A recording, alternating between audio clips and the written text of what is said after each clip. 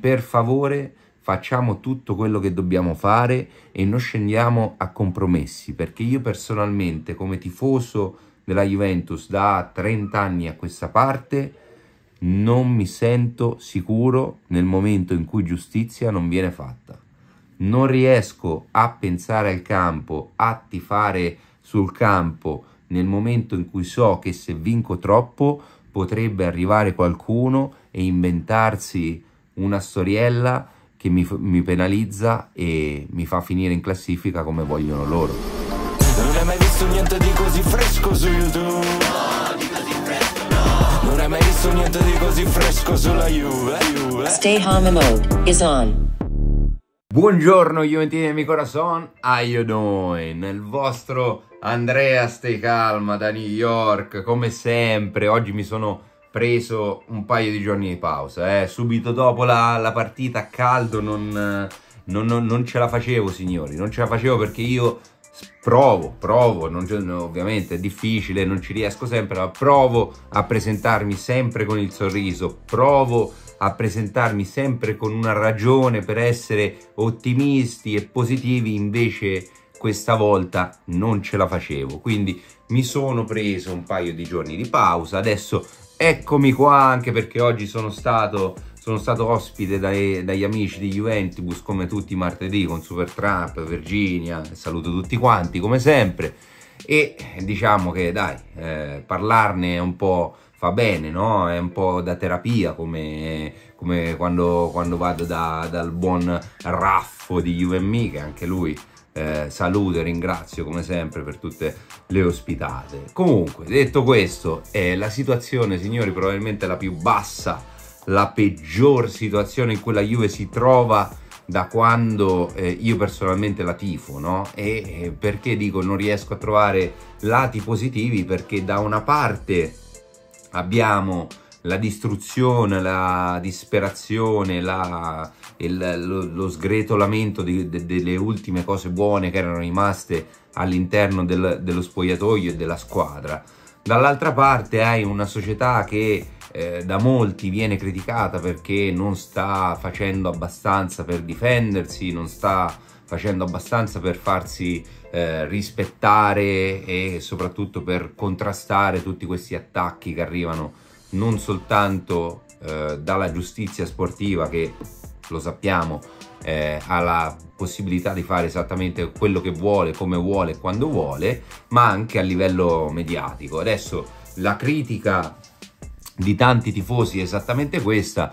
Io dico eh, sono in stand by, non, non, voglio portare una critica da questo punto di vista, ma non, non riesco a dire neanche qualcosa di positivo perché capisco quelli che si lamentano di non avere una difesa vera e propria, forte e presente su, uh, sui social, comunque che si faccia sentire a livello di opinione pubblica, visto che ritorna sempre l'argomento dell'opinione pubblica, il sentimento popolare e visto che queste sono, eh, sono le, strategie, i mezzi che utilizzano per rendere eh, valida no? tutta l'accusa che fanno nei nostri confronti.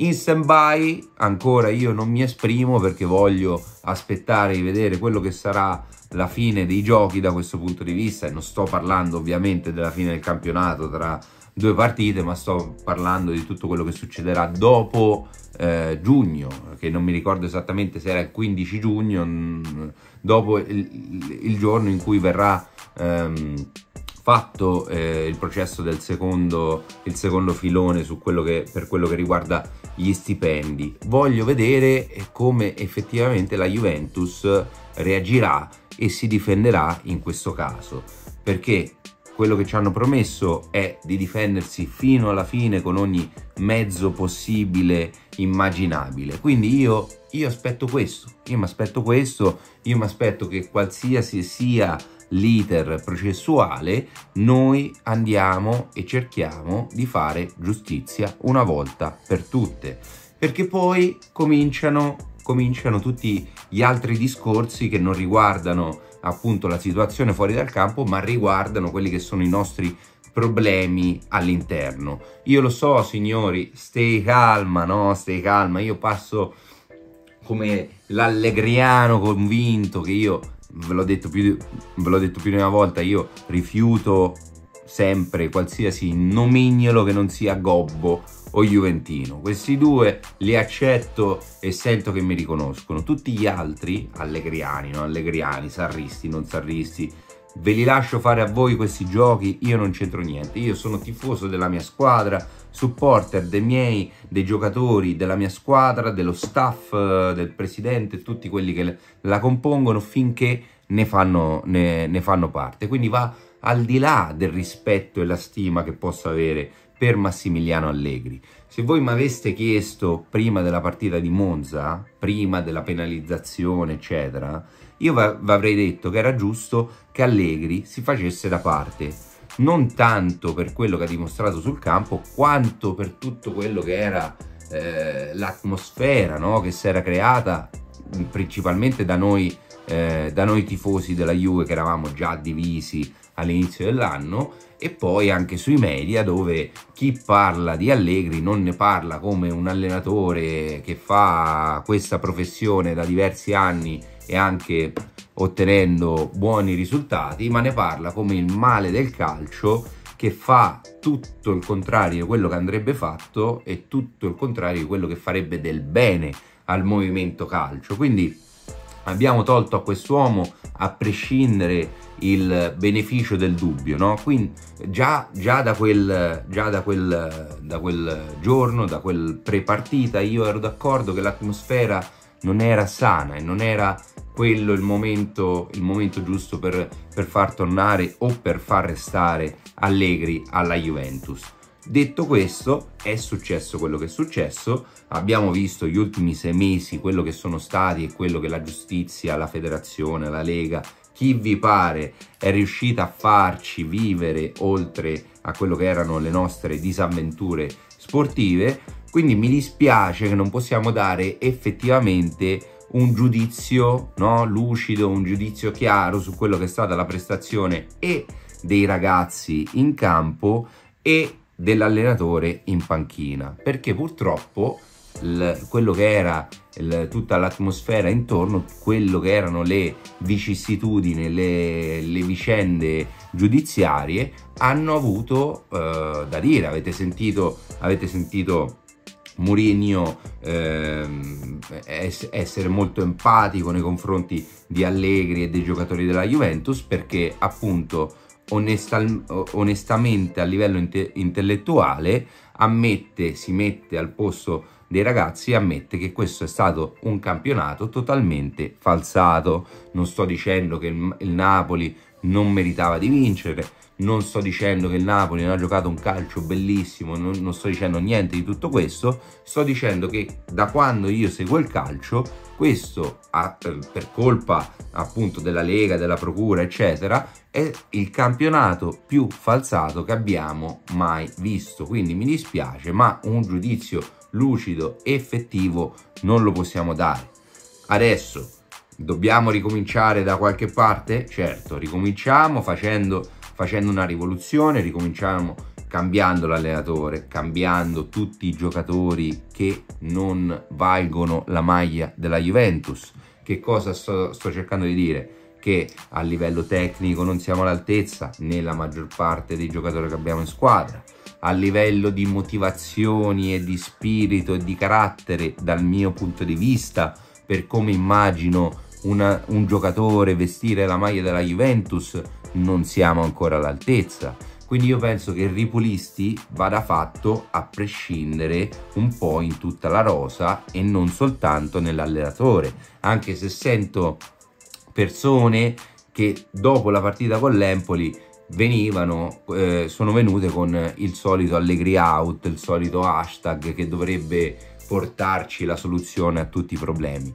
Novità, ultima, ultima notizia della giornata, non è purtroppo questa la soluzione a tutti i nostri problemi, signori. Quindi ripulisti generale, però detto questo io non riesco a concentrarmi particolarmente su quello che dovremmo fare per, per ricostruire una squadra che ritornerà a vincere. Perché dico questo? Perché sono ancora in stand by su quello, sul giudizio che do alla Juventus su quello che la Juventus sta facendo per difendersi. Sto in stand by e non so quello che spero di più. Non so se la mia speranza è più focalizzata su quello che faremo per ricostruire o su quello che faremo per difenderci da tutte queste ingiustizie. Perché nel momento in cui ricostruiamo una squadra vincente e ricominciamo a vincere campionato dopo campionato, che cosa dobbiamo fare? Dobbiamo sperare di non vincere troppo eh, perché se no potrebbe, potrebbe venire fuori un qualche procuratore con una mezza intercettazione e accusarci di aver tirato una eh, carta per strada, aver inquinato l'ambiente, non lo so, eh, arriveranno dei punti di penalizzazione anche per quel motivo. Io personalmente pensavo che Calciopoli non si sarebbe più ripetuta e grazie a questo, a questo pensiero, a questa consapevolezza, a questa speranza ho potuto convivere con l'amarezza di un'ingiustizia che non è mai stata vendicata. Adesso mi state togliendo questa speranza nel momento in cui non difendete la Juventus. Quindi per favore facciamo tutto quello che dobbiamo fare e non scendiamo a compromessi perché io personalmente come tifoso della Juventus da 30 anni a questa parte non mi sento sicuro nel momento in cui giustizia non viene fatta. Non riesco a pensare al campo, a tifare sul campo nel momento in cui so che se vinco troppo potrebbe arrivare qualcuno e inventarsi una storiella che mi, mi, penalizza e mi fa finire in classifica come vogliono loro. Io voglio sapere quali sono le regole del gioco prima di, di cominciare a, a giocare. Se la Lega di Serie A non mi dà questa possibilità, non sono interessato al suo prodotto. Lo capite questo? Detto questo, finiamo questo video che sta andando come al solito per le lunghe e non sta portando un briciolo di positività come avrei voluto fare e come voglio fare tutte le volte quindi signori forza Juventus fino alla fine cerchiamo di stare uniti per quello che, che possiamo perché comunque sgretolata la squadra, sgretolata la società, sgretolati anche i tifosi sfortunatamente ma questo potrebbe essere, potrebbe, potrebbe essere un modo per, per ripartire alla grande, no? per ricostruire qualcosa di veramente, di veramente grande e di veramente buono. Signori, io eh, vi lascio con le solite tre regole, stay fresh, stay crispy e stay calma. Ciao belli!